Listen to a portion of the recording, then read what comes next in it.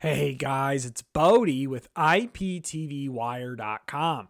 In this video, I'm going to show you how you can get hundreds of free live TV or IPTV channels on any Roku device running the latest software. I'm using a Roku Streaming Stick 4K, but this will work on any Roku device. Now, Many of you following my channel know that I am not a big fan of Roku, and there's many reasons for that. But the reason for me making this video, guys, to be honest, is I know a lot of you have Roku devices, and I just want to provide as much value as I can for those of you who are subscribed to my channel, as I greatly appreciate your support.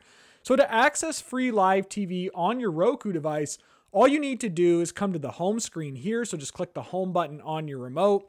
And if you scroll over apps, you should see an option that says Live TV Guide. If you don't see this for some reason, you may need to run a system update, and I'll show you that at the end of this video or you will see an option that says live TV on the Roku channel. Those are two quick ways to start streaming live channels for free.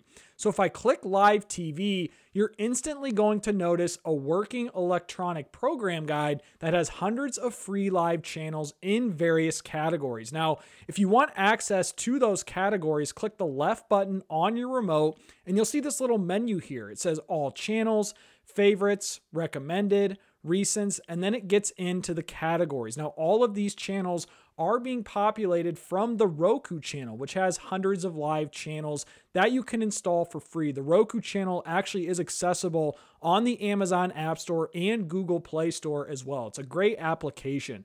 So you'll see all the categories here. I'm on sports, movies, news, game shows, comedy, reality, Espanol, music, kids and family, all channels.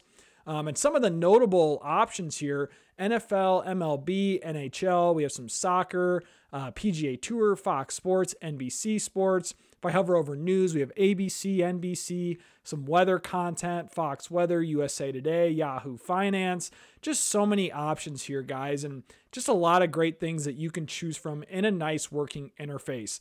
Now, one of the most important things, too, if you're doing this interface like I'm showing here, is the ability to add channels to your favorites. Now, having all of these channels is overwhelming. And just trust me, guys, there's so many apps that I'm using and there's so many channels. It's very overwhelming as I only use five to 10 channels on a regular basis. So you'll see there's an option for favorites here. If I hover over favorites and I click this option that says select to add to favorite channels, you're going to get an option that looks like this where it says manage channels. And if I click favorite channels, I can now scroll through here and just start checking the channels that I want in my favorites. So if I want Weather Nation, I can check that. That's now in my favorites. If I scroll down and I want, you know, some news channels or if I want MLB, uh, I'm going to check MLB, NHL, PGA Tour, Fox Sports, just some channels that I can show you guys. Now that I've added these, all you need to do is click the back button on your remote and then I'm going to go back to my home screen, launch the live TV guide again. And then once I'm on this interface, I'm going to click the left button on my remote, scroll down, and I'm hovered over favorites. And you'll see here are the channels that I added to my favorites. So you can remove these at any time if there's channels you don't want in your favorites anymore. Uh, so let's say I don't want this weather channel in my favorites. If I hit the options button on my remote, click unfavorite this channel, and click close, it is now removed from my favorites. So just some quick tips there if you are looking to add and remove channels from favorites. So that's great, right? Now that you have all these hundreds of live channels in a working electronic program guide, but let's say you want to add even more channels. So all you would need to do is install an application from the Roku channel store that provides free live content. So in this example, I installed Plex. And obviously, Plex is available in the Roku channel store as I just installed it. So I do know that this is 100% legal and verified to stream content on. So if I launch Plex, and you can do this for any app, guys Pluto TV, Tubi, Haystack News.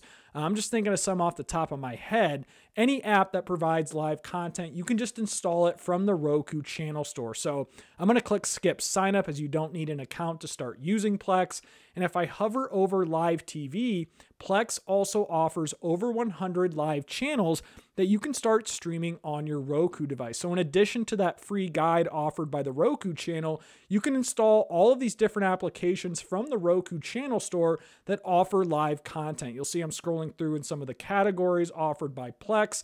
Um, so if there's content on a different app that is not available in the Roku channel, in the Roku channel, you can just install it from the store and then access it within those specific applications. So, some great options here from Plex or Ion Television, NBC News Now, uh, some crime channels, Ion AMC.